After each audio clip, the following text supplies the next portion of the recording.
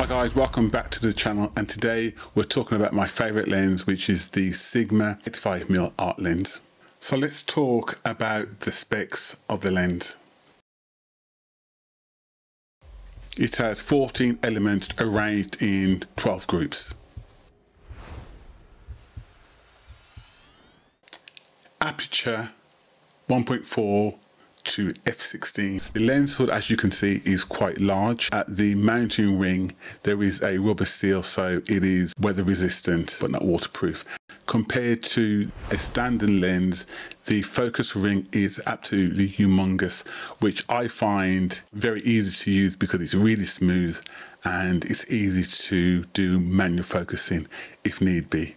The filter thread is 86 millimeters, which is large, which is one of the biggest filter threads out there in the industry. So if you have other filters that you want to put on, you will have to get a whole different set of filters, which is really a con, but I still love the lens. And here are some of the examples of some of the images I've taken with the 85mm, some shot at 1.4 and some shot at around 2.8.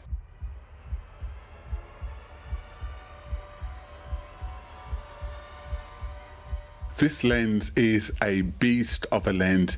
It is really sharp. In fact, it's tack sharp. It's easy to use. The only downside is it's a very heavy lens.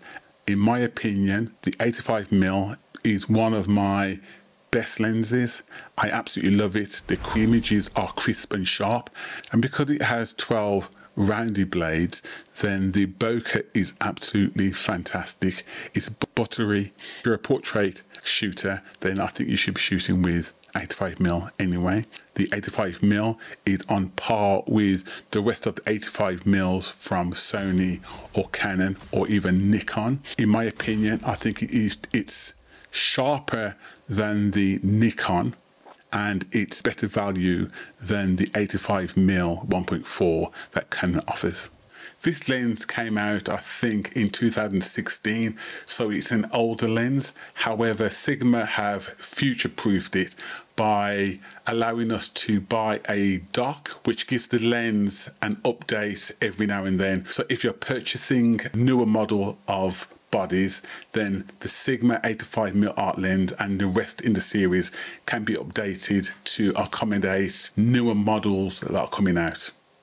Okay guys, we have made it to the end of the video. Thanks for sticking with me. YouTube thinks that you might like this video on this side. And in the meantime, guys, keep shooting. Bye-bye.